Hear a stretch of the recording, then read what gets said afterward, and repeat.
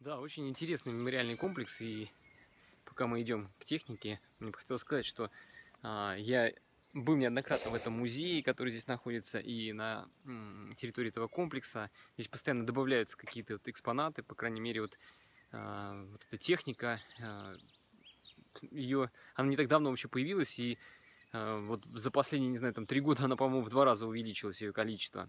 Здесь очень интересный музей, в музее сделана а, такая экспозиция, там а, соорудили, а, значит, эффект взрыва голубого моста. Там, значит, а, на территории Брянской области партизаны взрывали железнодорожные мосты для того, чтобы немцы не могли перемещать вооружение, технику. Вот. И один из мостов назывался Голубой мост, он сейчас существует, это мост через реку Десну. И вот здесь вот сделана прям целая панорама взрыва этого голубого моста а, с макетами, с а, таким видео и аудио сопровождением, там грохот, взрывы там и очень интересные эффекты в этом музее есть. Ну что ж, вот мы подошли к первому экспонату и сейчас начнем просматривать экспонаты, которые здесь представлены. 120 миллиметровый миномет образца 38 года Шавырина. Принят на вооружение в 1939 году. Вес 282 килограмма. Да, огромная штука. 15 выстрелов в минуту делал. Дальность стрельбы почти 6 километров. Вес мины 15,9 килограмм. Вот. Миномет.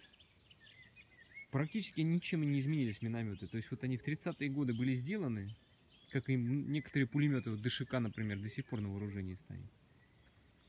Так, вот она, 76-миллиметровая пушка ЗИС-3, образца 1942 года, Грабина, максимальная дальность 13 километров, выпущено свыше 103 тысяч таких пушек. Но такую пушку мы уже видели в музее а, вооружение Валабина. Вот это 76-миллиметровая пушка, которая спасла Москву. За что Грабин получил сталинскую премию и добро на выпуск этих пушек. 85-миллиметровая дивизионная пушка Д-44. В 1944 году была разработана она, конструктор Петров, и вот 85 миллиметров, такой был калибр, кстати, у Т-34-85.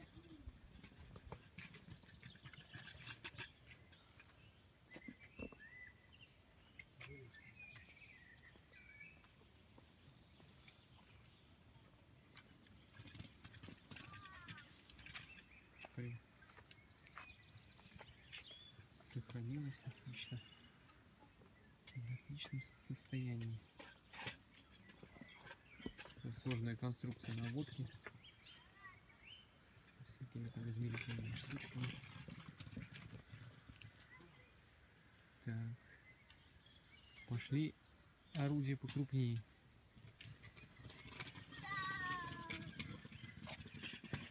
Это 120 миллиметровая гаубица образца 38 года. Почти 20 тысяч орудий было выпущено и расчет 8 человек был.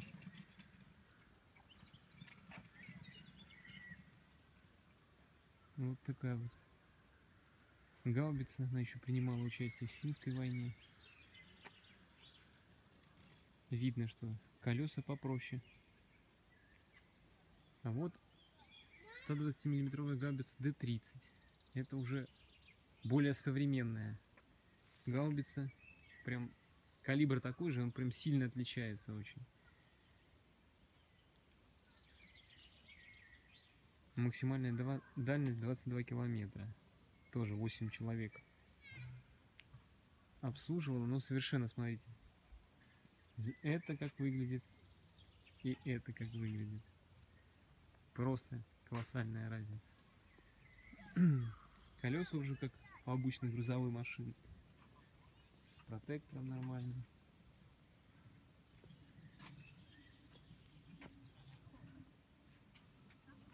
Вот как они выглядят с задней стороны.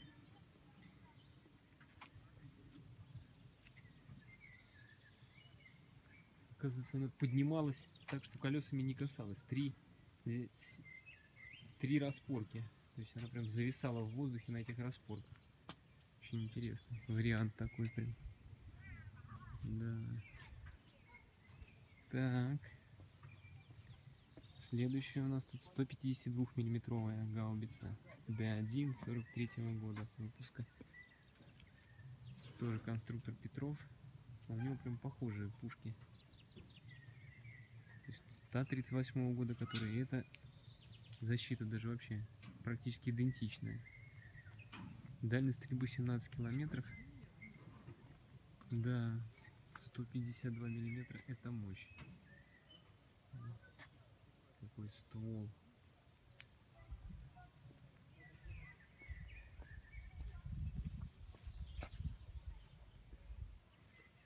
Как раз у нас э, в это время появилась ИСУ-152. Самоходная установка. 152 миллиметровая. Вот 152 миллиметровая пушка гаубица Т-20 Хитин. Это образца 55 -го года, это уже послевоенная. Да, она прям в два раза больше, хотя вот одна пушка 152 миллиметровая, вот другая. Я такое буду забегать в легко. Тут легко забегать.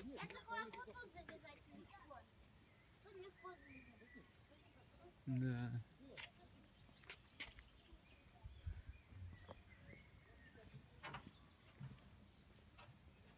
Вот как она выглядит сзади. Вот, 44 -го года до 55 -го.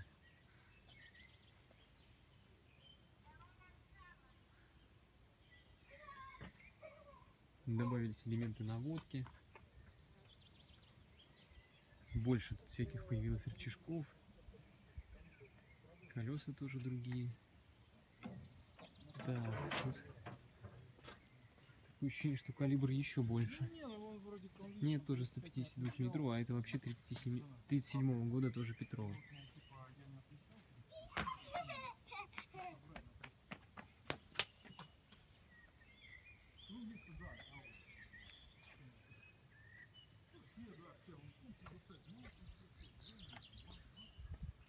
Так, это сколько? На 17 тоже километров стреляла. Не все примерно на 17 километров дальнобойность у